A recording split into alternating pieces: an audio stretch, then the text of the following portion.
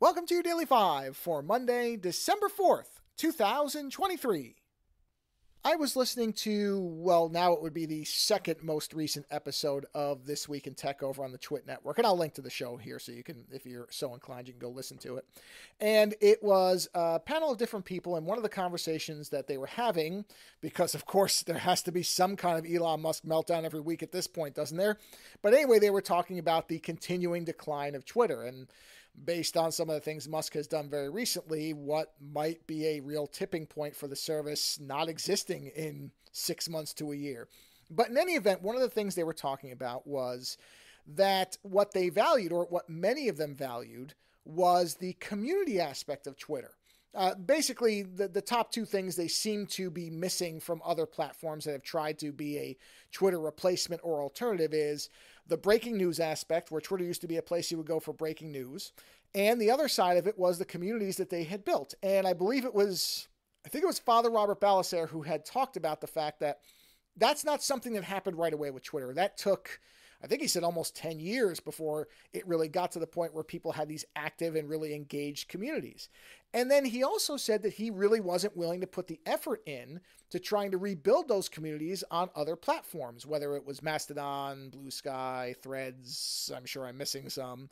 And that was I, that really struck me as odd because I mean, the news part, I don't know how you really recreate that. You have to, the platforms will have to have news bureaus and people reporting, and that just kind of organically grows by itself. You don't really have to, you don't do anything for that. You don't curate that really. That just happens. But the other side of it, the community side, that is something that is going to require some work. And if in fact that is something, and I think most of the hosts on that show said that they did miss that aspect of Twitter, because of course now it's been completely destroyed. I mean, I barely even I, I I am going to start just whittling down my followers, the, the anybody that I follow on there that I'm following on another platform. I gave up on Mastodon. I'm just on Blue Sky now because I honestly the conversation on Blue Sky is more like what I liked out of Twitter. It's more arty and cartoony and comic book based than Mastodon, which feels more journalist oriented or more just feels like a, a bit of a different thing. Not necessarily bad, just not really for me.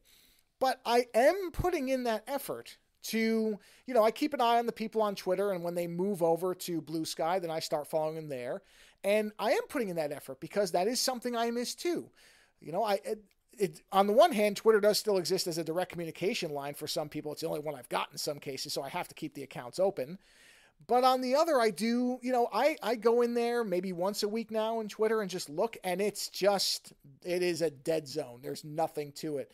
Barely any posts from actual people, junky, crappy ads. I mean, it really is nothing like it was even a couple of years ago. And that's too bad, but I'm not going to not make the effort to try to have that experience somewhere else because I do value it. I get interesting ideas from people that, you know, post random things. There's a lot of funny stuff that people post still. I mean, I know some people use Instagram or TikTok for that. Well, I'm not as big on those platforms, so I'm sticking with Blue Sky for this stuff.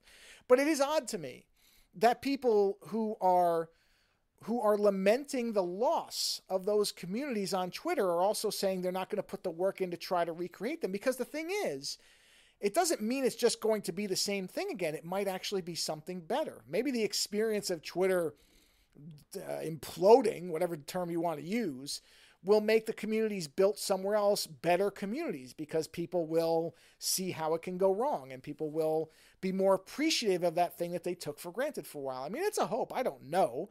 But I don't know. I, for me, I don't want to just give up on the idea of it. I mean, I'm certainly not a very. It's not like I post every hour on anything and post every even every day on stuff, but I still interact here and there, and I do have a value for that, and I do want to try to preserve it as much as possible. But again, the stranger thing to me was people who seem to really value a particular aspect of what Twitter used to provide, not being willing to try to recapture some of that somewhere else. I mean, again, it may not be a duplicate of it, but you could probably I've got I've followed a lot of people now on Blue Sky that used to be on Twitter, and I see a lot of the same people posting the things I enjoyed hearing from them when they were on Twitter. And it it is now basically I know it's not a total Twitter replacement, but for me, it's doing most of it. So if I can do that with not much effort, you would think other people could too. So, like I said, it's just odd. But here's the question anybody listening if you were on Twitter and you're not anymore, are you bothering with anything else, or have you also just given up on this idea? Let me know later.